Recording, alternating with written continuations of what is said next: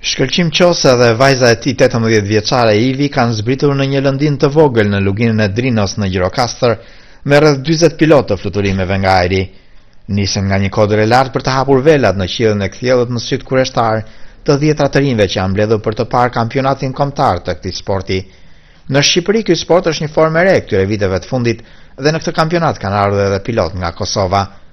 Ivi thotë se ndihet mjaft mirë kur lë pas kafenet e Tiranës të mbushura me të rinj, shumë prej tyre edhe të papunë për të parë bukuritë e Shqipërisë.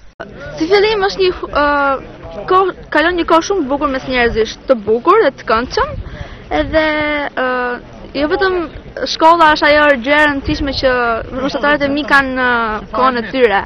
Por mendoj se duke lëvizur nëpër vende të ndryshme, duke zhvilluar turizmin, duke parë gjëra të bukura, edhe ne si individ formohemi dhe shohim gjëra të bukura gjithandej. Ivi ka kryer fluturimet e para dhe nëse e pyet a është më e bukur Shqipëria nga ajri apo nga toka, përgjigjet. Është më e bukur nga ajri se nga toka, sepse nga ajri i sheh gjërat më të vogla, sepse nga toka i sheh shumë të mëdha.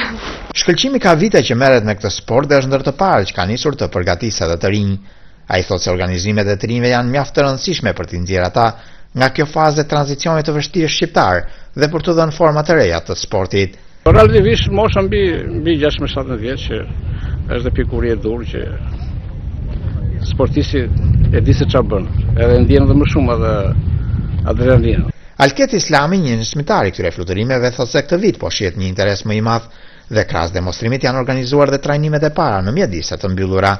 Gjirokastra si gjithmonë është me shumë interes, janë mbi 40 pilotë që kanë ardhur këtu dhe kjo flet shumë sepse normalisht po kthehet në një aktivitet shumë shumë prestigjioz në Shqipëri për këtë sport, po jo vetëm këtu dhe për gjithë rajonin sepse kjo mbledh shumë turistë dhe nga që vijnë nga nga Greqia apo nga vende të tjera të Evropës. Zoti Islami që njihet në Shqipëri edhe për një seri botimesh turistike me fotografime nga ajri, thotë se ky aktivitet, por dhe ngjarje të tjera gjatë këtyre ditëve, nxisin sektorin turistik në Gjirokastër, një qytet i trashëgimisë kulturore botërore.